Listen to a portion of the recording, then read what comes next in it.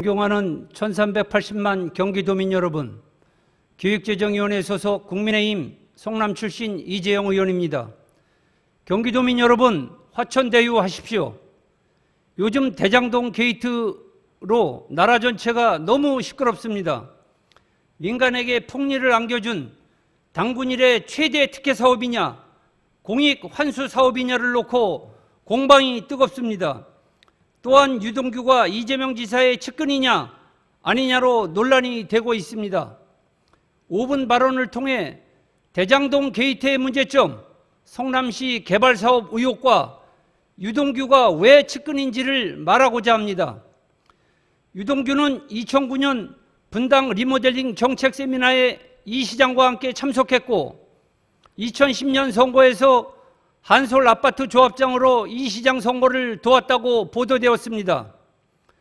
선거 당시 이 시장은 지킬 수 없는 공약인 리모델링 기금 1조 원 조성을 내걸고 유동규는 공공지원 홍보로 시장 당선에 크게 기여하였다는 것이 지역의 여론입니다. 이 시장이 당선되고 유동규는 임용 자격이 문제되지만 채용 기준 중 특별한 사유로 시설관리공단 본부장으로 채용되었습니다.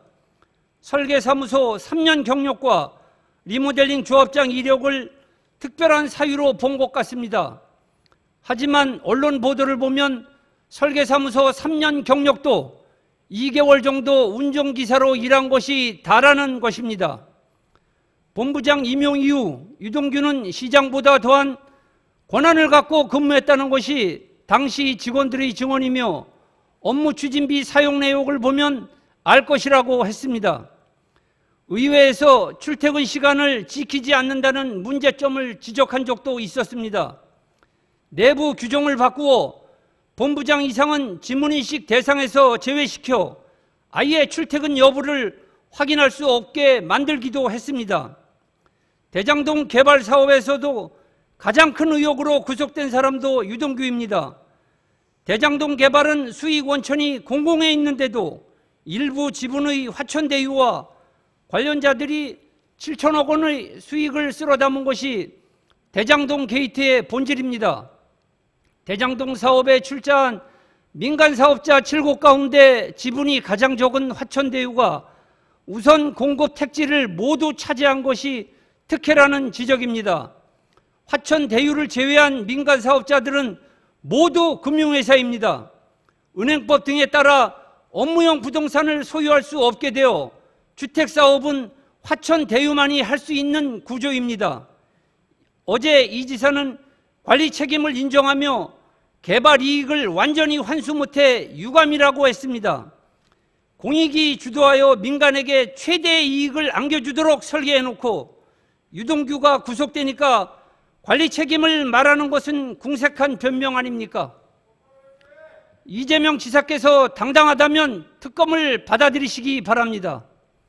성남시장 재직 시 또 다른 의혹이 제기되고 있습니다. 백현지구 호텔 사업 특혜입니다. KBS에 보도된 두 차례 내용을 보면 2015년 성남시는 분당구 정자동 소재 시유지 5,700평을 부동산 개발업체 A사와 수의 계약을 맺고 30년 대부 계약을 체결했다고 했습니다. 부지 이용에 대한 연구 용역을 B사가 맡고 이 업체와 같은 A사가 수의 계약을 맺어 사업을 추진하고 있다는 놀라운 사실입니다. 성남시 관계자는 몰랐다고 말하고 있으나 여러 정황상 모를 수가 없는 구조입니다. 행정적 절차도 무시하여 특혜를 주었다고 볼 수밖에 없습니다. 특히 전직 성남시 산하기관 사내이사로 있던 안모 씨가 해당 연구 용역업체 사내이사로 근무했으며 현재는 경기도 공공기관 고위직으로 근무하는 것으로 알려져 있습니다. 10억 원대의 소규모 회사가 2,200억 원의 대형 사업을 위해 시유지 대부 계약을 체결하였다는 것이 의혹의 핵심입니다.